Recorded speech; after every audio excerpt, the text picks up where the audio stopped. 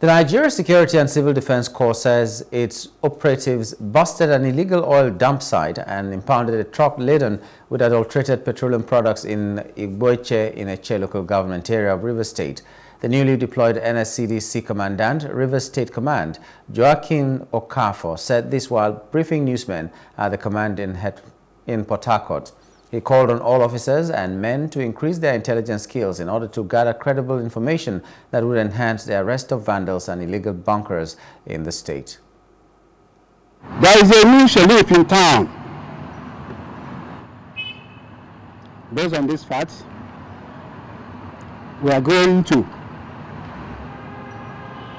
revisit, restructure our commandate for a greater today and tomorrow.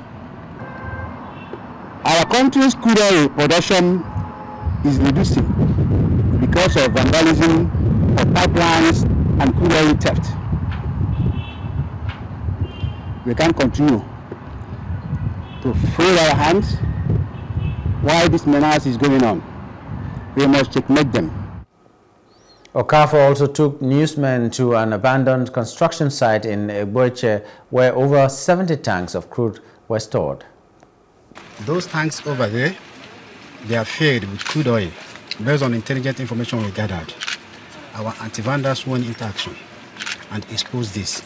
You can see this, this place has been in existence, but my coming has exposed them.